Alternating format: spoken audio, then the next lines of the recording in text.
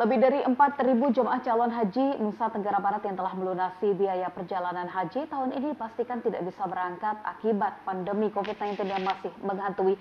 Para jemaah yang telah melunasi biaya perjalanan haji ataupun yang belum melunasi diharapkan bisa ikhlas dan juga lapang dada menerima keputusan pemerintah.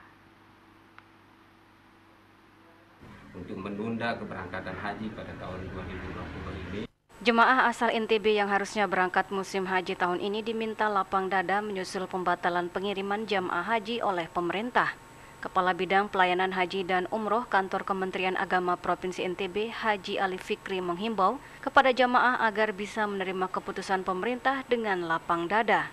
Keputusan tersebut ungkap Fikri diambil pemerintah Indonesia karena perkembangan kasus COVID-19 semakin mengkhawatirkan.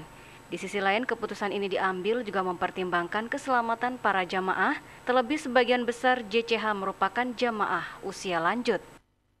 Uh, hendaknya kita uh, dalam kesempatan ini dengan keputusan akhir sebuah pemerintah ini untuk menunda keberangkatan haji pada tahun 2020 ini uh, memberikan pembekalan, mengambil hikmah dari semua itu. Tentu dengan pengunduran waktu ini bisa kita memantapkan manasik haji kita dan insya Allah tahun 2021 kita mengharapkan uh, pandemi COVID-19 ini sudah hilang dan bisa kita uh, melakukan proses perjalanan haji tahun 2021.